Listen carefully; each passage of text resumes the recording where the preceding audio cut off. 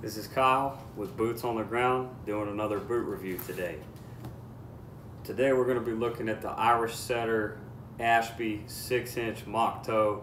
It's classified as a work boot and in my opinion it's one of the best work boots there is if not the best for the money at only 119 to 129 bucks depending on where you buy it. It's a great bargain and you're getting a, a good product. Actually Red Wing makes Irish Setter and Red Wing Shoes has been around since I think 1905 from Minnesota, and they make the classic Iron Ranger and the mock toe that they have. I believe that's the 875 and the Blacksmith, and all those heritage lines are handmade in Red Wing, Minnesota. These, however, I do believe are made in Vietnam, but the leather that they use, I'm pretty sure they, they, they tan the leather at the SB Foot Tannery in Red Wing, Minnesota. The leather that they use on this Ashby is called brook trout, and they named it for the stream that runs behind the tannery. But without further ado, let's look at the boot. I'm going to go ahead and warn y'all they're not cleaned up. I've been wearing them at work every day for about six months, so they're still some of my favorite boots. I own a lot of them. This is one of my favorite pairs. I truly believe that for you know light duty construction, um, people who do electrical work, people who work on the pavement, uh, tile setters, HVAC guys. These are some of the best boots you can get. Would I recommend logging in Wisconsin with them? Probably not. You know, working in extreme cold weather, probably not, as there's really no insulation. It's just leather and an insole that looks like this that's extremely comfortable. Pretty sure that's polyurethane. And then as far as, we'll just put this one over here for now, but as far as the construction goes, like I said, this leather is really soft to the touch and it's called uh, brook trout leather and they tan this at the tannery there Red Wing, Minnesota.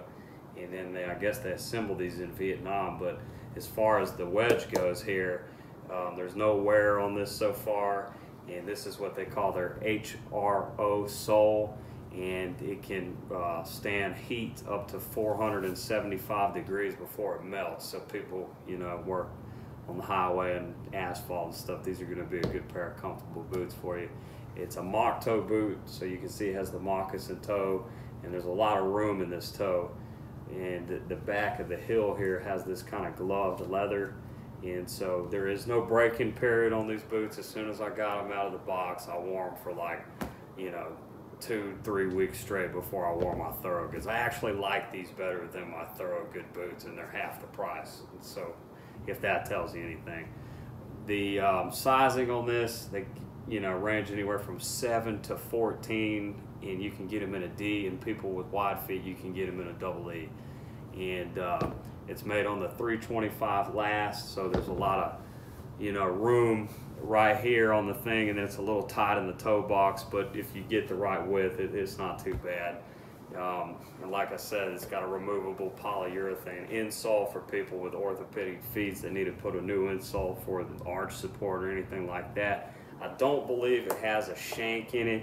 it it's a it's a flat sole boot, which to me is the most comfortable kind of boot there is. But there's no fiberglass shank in here or anything like that.